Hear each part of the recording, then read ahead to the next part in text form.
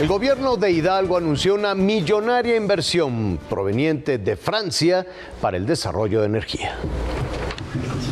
En el centro financiero de la capital francesa, conocido como La Défense, fue recibido el gobernador del estado de Hidalgo, Omar Fayad, para sostener una reunión con directivos de la empresa francesa de gas y electricidad, Engie. Hemos firmado ya el protocolo que establece el compromiso de inversión de Engie en el estado de Hidalgo por 2.300 millones de pesos. La firma de acuerdos de inversión en el estado de Hidalgo se llevó a cabo después de una hora de reunión en donde también se habló de la importancia para llevar a cabo este proyecto, así como la experiencia que tiene esta empresa francesa ya que en México desde hace 20 años. On a 550 000 clients gaz euh, au Mexique sur nos 8 euh, distributions.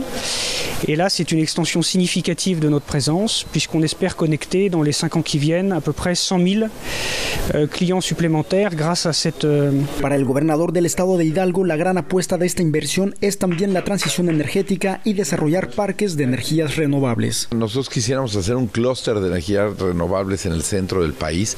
Quizás somos los proyectos más ambiciosos y es el estado que más recursos de inversión privada tiene en materia de energía solar.